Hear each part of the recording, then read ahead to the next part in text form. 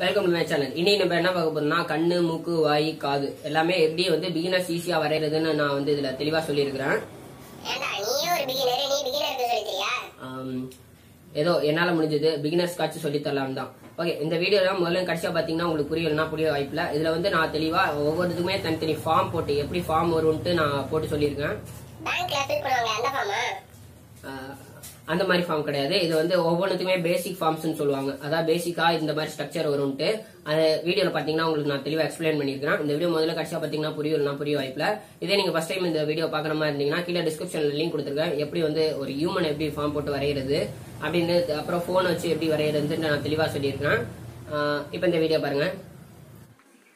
First நான் வந்து form வந்து போடுறேன். இது ஃபார்ம் வந்து நான் வந்து லைட்டாக தான் போடணும். அதான் லைட்டாக தான் போடுங்க. ஏன்னா லைட்டாக நான் போட்டால் தான் நம்ம மேலே வந்து டீட்டெயில் கொடுக்க முடியும். இது நான் வீடியோவில் தெரியணுன்றதுக்காண்டி நான் அதை அழுத்தி கொடுத்துருக்குறேன். இது ஃபுல் ஹெச்டியில் பாருங்கள் அப்போ தான் உங்களுக்கு தெளிவாக தெரியும். இது வந்து மேலே வந்து எப்பயுமே அதிகமாக இருக்கணும் கீழே கம்மியாக இருக்கணும் ஹைட்டு இந்த மாதிரி நடுவில் ஒரு கோடு போட்டு நீங்கள் பிரிச்சுக்க வேண்டியதாக கண்ணை.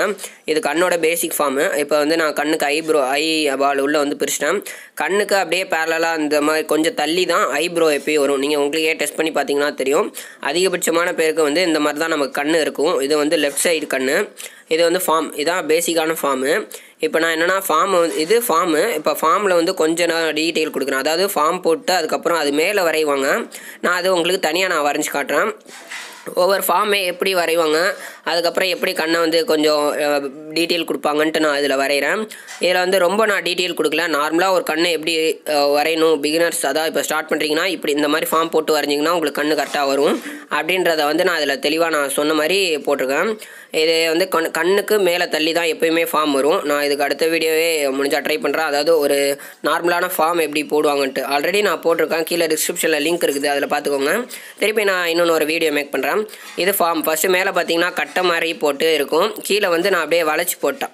அதாவது பார்க்க கொஞ்சம் டார்க்காக இருக்கும். அதான் மேலே பார்த்தீங்கன்னா தெரியும். அப்படி வளைஞ்ச மாதிரி இருக்கும்.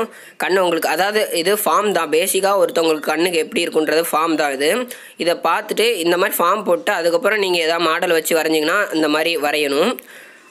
இது பேசிக்கான ஃபார்ம் இதை வந்து கிரிட் மெத்தட்னு சொல்ல முடியாது. இது நார்மலாக ஒரு மெத்தட் எல்லாத்துக்குமே இப்போ பார்த்தீங்கன்னா நடுவில் ஒரு கோடு போட்டு தான் நான் பிரிக்கிறேன்.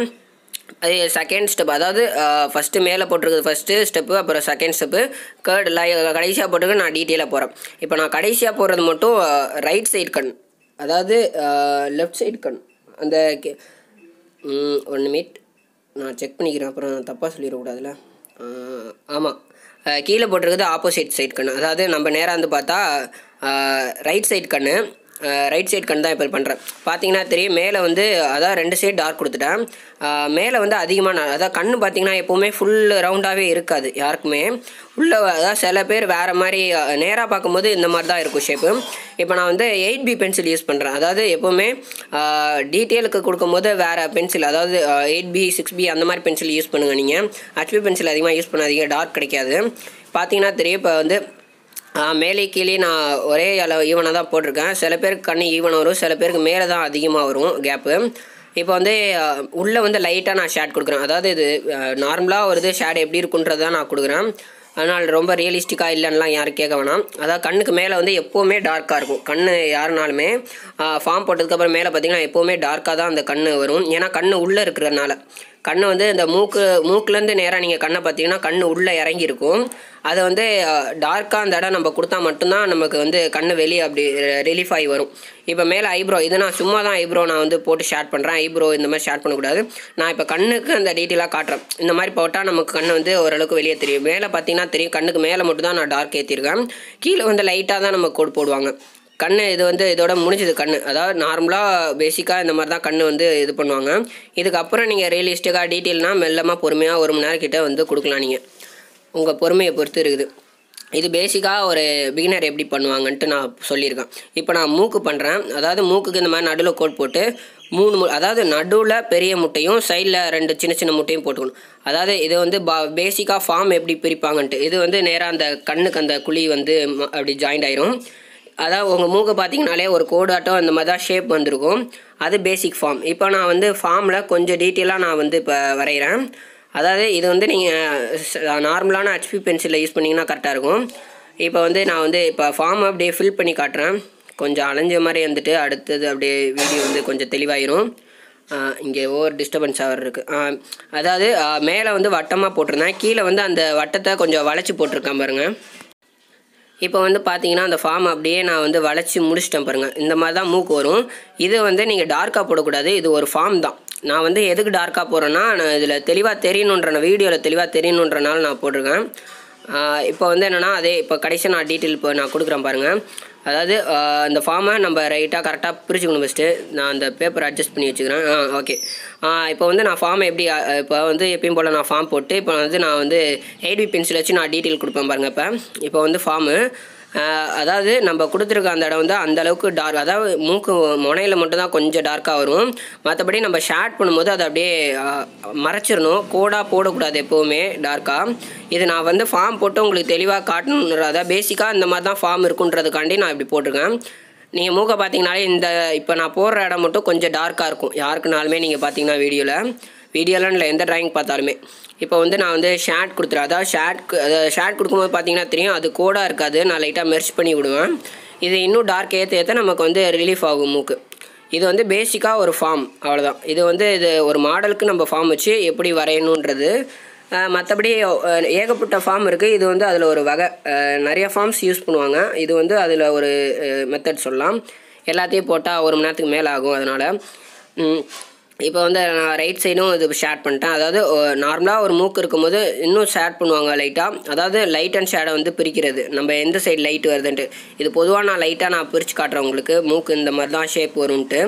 அதாவது பார்க்க மூக்கு மாதிரி தெரியுதுல்ல. ஏன்னா இதுதான் பேசிக்காக ஃபார்ம் ஃபார்ம்னால் அந்த பேங்க்கில் ஃபில் பண்ணுற ஃபார்மில் இது தனியாக ஒவ்வொரு டிராயிங்க்குன்னு உள்ள ஃபார்ம் இதை வந்து லைட்டாக அங்கங்கே ஷேட் இருக்கிறதெல்லாம் நம்ம மெர்ச் பண்ணி விடுறது. மூக்கு அதுக்கப்புறம் ஃபார்மோட முடிஞ்சிருச்சு. இப்போ நான் வந்து கடைசியாக வாய் வாய்க்கு வந்து மூணு கோடாக பிரிச்சுக்கோங்க. அதாவது மேலே சின்னதாகவும் கீழே வந்து ஒரு இதாகும் இது இப்போ நான் கட்டம் போட்டு போடுறது இது ஒரு ஃபார்ம் அதாவது வாய்க்குன்னு உள்ள தனி ஒரு ஃபார்மு அதான் பேசிக் ஃபார்ம்ஸ் இப்போ வந்து அதுக்கப்புறம் அதே மாதிரி மூணு கோடு போட்டு மேலே வந்து கொஞ்சம் வளைஞ்ச மாதிரி இருக்கும். இந்த இடம் எல்லாருக்கும் பார்த்தீங்கனாலே எல்லாருக்கும் வளைஞ்ச மாதிரி தான் இருக்கும். அப்படி வளைஞ்சிருந்தா தான் அது மனுஷனோட வாய் இல்லைன்னா அது வந்து மிருகத்தோட வாயாக மாறிடும் இதை வந்து நடுவில் எப்போவுமே அந்த எல்லாருக்கும் க்ளோஸ் பண்ணியிருக்க தான் நான் இப்போ நான் ட்ராயிங் பண்ணுறேன் நார்மலாக ஒரு ஆள் உட்காந்துருந்தா நேராக பார்த்தாங்கன்னா எப்படி இருக்குமோ ஃபேஸு அப்படின்றத தான் நான் இப்போ வரைஞ்சிருக்கேன். இப்போ ரெண்டாவதில் பார்த்தீங்கன்னா அது கொஞ்சம் வளைச்சி போட்டிருக்கேன். இப்போ மூணாவதில் கொஞ்சம் டீட்டெயிலாக நான் போடுவேன். அதாவது வாய் எப்பவுமே பார்த்தீங்கன்னா மேலே தான் ஃபுல்லுமே டார்க்காக ஓரளவுக்கு இருக்கும். கீழே வந்து ஜாயிண்டே ஆகிருக்காது சொல்லப்போனால் லைட்டாக இதாகிருக்கும் நடுவில் எப்பவுமே வாய் மூடி இருக்கும்போது கொஞ்சம் டார்க்காக தான் இருக்கும். இதில் நான் மாடல் எடிட்டிங்கில் விட்டுட்டேன். இதை நீங்கள் பார்த்துக்கோங்க ட்ராயிங்லேயே அதாவது பார்த்தீங்கன்னா எட்ஜ் அந்தளவுக்கு ஒன்றா இருக்காது. ஷேடிங்கில் தான் அந்த இது முடிஞ்சிருக்கும் எப்போவுமே. கீழே வந்து ஃபுல் அண்ட் டார்க் நீங்கள் கொடுக்கக்கூடாது எப்போவுமே. இதை நான் ஷேட் பண்ணி லைட்டாக பிரித்து காட்டுறேன். அதாவது ஷேட் பண்ணும்போது இது பிகினருக்குன்றனால லைட்டாக தான் நான் பிரித்து காட்டுவேன்.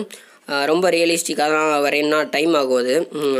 இப்போ வந்து எப்போவுமே யாருக்கு நீங்கள் வாய் பார்த்தாலும் வாயை பார்த்தீங்கன்னா அந்த வாய்க்கும் அந்த மேலே மீசை இல்லைன்னா அந்த மேலே வரும்போது அந்த இடத்துல சின்னோண்டு ஒரு லைன் லேயர் ஒயிட் லேயர் போகும். யாருக்குனாலுமே அந்த மாதிரி லேயர் போகும்.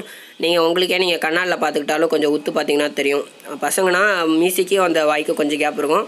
பொண்ணுங்கனாலுமே கொஞ்சம் அந்த ஒயிட் லேயர் லைட்டாக விட்டு தான் வரும் ஷேடிங்கு கீழே வந்து எப்போவுமே லைட்டாக ஷேடோட தான் நம்ம முடிக்கணும். ஏன்னா அப்போ தான் வாயாட்டம் தெரியும். கீழேயே ரொம்ப டார்க் ஏற்றிட்டு அது கார்ட்டூனாக மாறிடும் இப்போ வந்து இன்னும் டார்க் ஏற்றலாம் நான் வந்து லைட்டாக மட்டும் தான் டார்க் ஏற்றுறேன் அது வாய் முடிஞ்சிட்டு அதோட.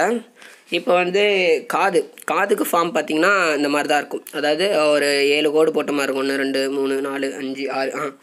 இது என்னென்னா காது அப்படியே வளைஞ்சி வரதை காட்டுது. அது ஃபார்ம் அதிலே இப்போ நான் செகண்ட் ஃபார்ம் போட்டுறேன். அதாவது அப்படியே ரவுண்டாக வரும். சி ஆட்டம். ஐ மீன் ஜி ஜி அப்படியே சியை லைட்டாக வந்து வளைச்சா எப்படி இருக்குமோ அப்படின்னு. உள்ள ஃபார்முக்கு நீங்கள் லைட் லைட்டாக அங்கே வந்து அதாவது காது உள்ளே வளைஞ்சி வளைஞ்சி நெளிஞ்சி வரும். அதை வந்து அப்படியே நம்ம லைட்டாக லைட்டை வச்சு பிரிச்சுக்கணும். அதாவது இது வந்து லைட்டாக ஃபார்மில் வந்து லைட்டாக தான் வரும். இதுக்கப்புறம் டீட்டெயில் நீங்கள் கொடுக்குறதுனா கண் எதோ காது ஒருத்தவங்களை பார்த்து தான் நீங்கள் டீட்டெயில் கொடுக்கணும். இப்போ வந்து நான் காது ஃபார்ம் போட்டு இப்போ அதுலேருந்து அப்படியே லைட்டாக நான் வந்து எடுக்கிறேன் காதை பொறுத்தவரையும் லைட் அண்ட் ஷேடோ வந்து அங்கங்கே பிரிஞ்சு வரும். ஏன்னா வந்து காது அந்தளவுக்கு ஒரு வித்தியாசமான ஒரு இது. அதாவது பிரிக்கிறதுக்கு கொஞ்சம் ஏகப்பட்ட டீட்டெயில் கொடுக்குற மாதிரி இருக்கும் பார்க்க தான் நான் சைடில் தானே இருக்குது அப்படின்ட்டு. இந்த மாதிரி இப்போ போடுற லைன்ஸ் வந்து நான் ஏன் போகிறேன்னா உங்களுக்கு தெளிவாக தெரியணுன்றனால போகிறேன்னா ட்ராயிங்கில் நீங்கள் வந்து லைட்டாக தான் போடணும். அதாவது எப்போவுமே கோடாக காட்டவே கூடாது. நீங்கள் கோடாக அவுட்லைனாக காட்டினீங்கனாலே அது வந்து ட்ராயிங்கில் சேராது. அது கார்ட்டூனாக போயிடும் ட்ராயிங்கில் தான் சேரும் ஆனால் கார்ட்டூனாக போயிடும் ஒரு நார்மல் நார்மலான போர்ட்ரேட்டு இதாகாது. அங்கங்கே ஏன் நான் டார்க் கொடுக்குறேன்னா இப்போ ட்ராயிங்கை பொறுத்தவரை எப்போவுமே பக்கத்தில் வச்சு எதையும் பார்க்கக்கூடாது. கொஞ்சம் எட்டி வச்சு பார்த்தா தான் நம்ம ட்ராயிங்கோட தெளிவுனஸ் தெரியும். அதாவது எந்தளவுக்கு எப்படி வரைஞ்சிருக்கோன்ட்டு. இப்போ இந்த டார்க் ஏற்றுற இடம்லாம் கொஞ்சம் குழி வந்திருக்கும். அதாவது குழி வந்து அந்த இடத்துல ஷேடு அதாவது கொஞ்சம் டார்க்காக இருக்கிற அந்த இது. நான் நெக்ஸ்ட் டைம் மாடல் வச்சு நான் உங்களுக்கு வரைஞ்சி காட்டுறேன். இது வந்து பேசிக்காக ஒரு ஃபார்ம் அப்புறம் அதில் எங்கெங்கே டார்க் வரும்ன்றதை நான் அப்படி சொல்கிறேன் அதாவது பேசிக்காக இந்தந்த இடத்துலலாம் எப்பயுமே டார்க் வந்து தான் இதாகும். அது வந்து கொஞ்சம் தள்ளி வச்சு பார்த்தீங்கன்னா அந்த டீட்டெயில் தெரியும். கொஞ்சம் லைட் அண்ட் ஷேர்லாம் வச்சு பிரித்தது ரொம்ப நேரம் பேசுகிற மொக்கையாக போகுதுன்னு நினைக்க வேணாம். இன்னும் கொஞ்சம் நேரத்தில் முடிஞ்சிடும் வீடியோ லைட் அண்ட் ஷேடாக நீங்கள் பிரிக்கலாம். அதாவது நான் இது எயிட் பி பென்சில் தான் யூஸ் பண்ணியிருக்கேன். எப்பயுமே நீங்கள் எயிட் பி பென்சில் அதிகமாக யூஸ் பண்ணுங்கள் அதில் தான் உங்களுக்கு வந்து ஆடு எந்த அளவுக்கு நம்ம கை திக்னஸ் இருக்குது எந்த அளவுக்கு பேலன்ஸ் கிடைக்குதுன்றது தெளிவாக தெரியும். இதே நீங்கள் பொழுதுபோக்குக்கு வரைகிறதா இருந்தீங்கன்னா கூட வாங்கி வச்சுக்கோங்க. ஒரு பென்சில் தொண்ணூறுரூபா வரும். ஒரே ஒரு பென்சில் போதும் உங்களுக்கு. இதை வந்து இப்போ ஒரு வழியாக நான் லைட் அண்ட் ஷேடை வந்து பொதுவாக பண்ணி செய்ய ஓரளவுக்கு நான் முடிச்சிட்டேன். இது வந்து இப்போ கண் மூக்கு வாய் காது எல்லாமே நான் ஓரளவுக்கு முடிச்சிட்டேன். இதுதான் பேசிக்காக ஃபார்மு போட்டு பண்ணுற ஒரு இது. உங்களுக்கு டவுட் இருந்துச்சுன்னா நீங்கள் கமெண்ட் பண்ணுங்கள் இந்த வீடியோ முதல்ல கிடைச்சா பத்தா எல்லாருக்கும் நன்றி இந்த வீடியோ பிடிச்சி புரிஞ்சிருச்சுன்னா லைக் பண்ணுங்க ஷேர் பண்ணுங்க சப்ஸ்கிரைப் பண்ணுங்க. மறக்காம உங்க டவுட்டை கீழே கமெண்ட் பண்ணுங்க. உங்களுக்கு புரிஞ்சிருந்தாலும் நீங்க கீழே கமெண்ட் பண்ணுங்க. இல்ல எனக்கு சிலது டவுட் இருக்குனாலும் நீங்க கீழே கேட்கலாம். நான் வந்து ரிப்ளை பண்ணுவேன். இல்ல நான் வந்து பர்சனலா கேட்கறேன் அப்படின்னு இருந்துச்சுன்னா மேல வாட்ஸ்அப் நம்பர் இருக்கு. அதுல கூட நீங்க கேட்கலாம். நான் சொல்லி தருவேன். இதே உங்களுக்கு ஏதாவது டிராயிங் நான் வரைச்சு இருந்துச்சுன்னா மேல வாட்ஸ்அப் நம்பருக்கு சென்ட் பண்ணுங்க. நான் வரைஞ்சு தரேன் தேங்க்ஸ் ஃபார் வாட்சிங்